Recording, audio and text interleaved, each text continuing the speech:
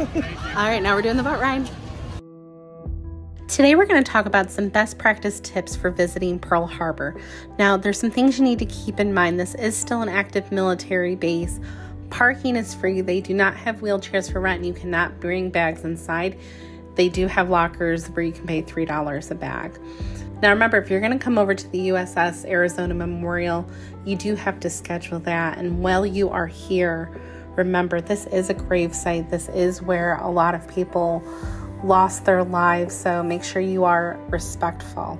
Now, you heard me say that you have to reserve this. There are a few options when you're coming to Pearl Harbor. You can do this a la carte, you can get the passport to Pearl Harbor, a guided tour, or you can just do the memorial. But if you are wanting to get on that memorial, you have to do that ahead of time. So take a screenshot of this page right here so that you know what to do later. Links will be in the bio. There are shuttles that take you to the other museums like the USS Missouri, the Aviation Museum. So it's pretty easy to get around. If you are handicap accessible, there is an elevator to get on the Missouri. You may not be able to get into all the parts of the Missouri, but you can do the main deck.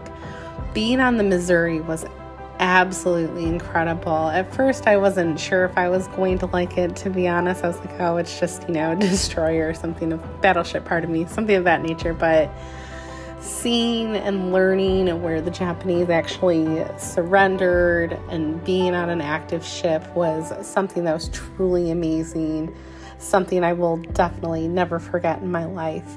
So, highly recommend. After here, we went over to the Aviation Museum, and I really loved this seeing all the different planes. They even had a simulator where you could try to fly your own plane. Olivia gave that a go. But this place is truly awesome. Each little place has a different kind of gift shop. Over by the Missouri, as you saw, they had food. They had some food here. So don't worry if you don't have any lunch with you, you can definitely eat on site. Um, like I said, here's Olivia doing that aviation simulation. Pearl Harbor, I would at least allot a half a day, if not a full day, depending on how busy it is, if you're going to come and visit.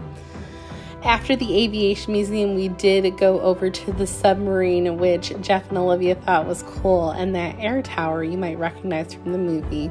If you have any questions, don't forget to subscribe and like this video and leave them down in the comment section. See you next time, guys. Bye.